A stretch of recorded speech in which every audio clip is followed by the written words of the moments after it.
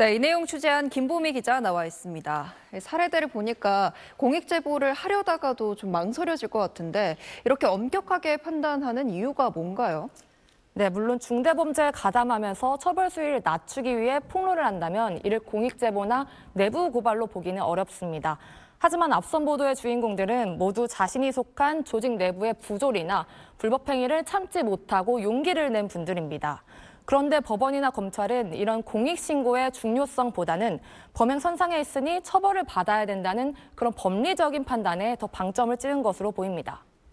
네, 그러면 좀 제보가 활발히 이루어지려면 이들을 보호할 규정이 있어야 될 것 같은데 따로 규정이 없습니까? 네, 지난 2019년에 동물보호단체 케어에서 강아지를 대규모로 안락사시켜서 사회적인 논란이 됐었습니다. 지난해 1심 판단이 나왔는데요. 재판부는 안락사를 지시하고 주도한 박소연 당시 대표에게는 징역 2년을 선고했습니다. 하지만 범행에 동참했던 직원에게는 무죄를 선고했는데요. 이 직원의 내부 고발로 이런 사건이 드러난 점을 인정하고 면책 규정을 적용한 겁니다.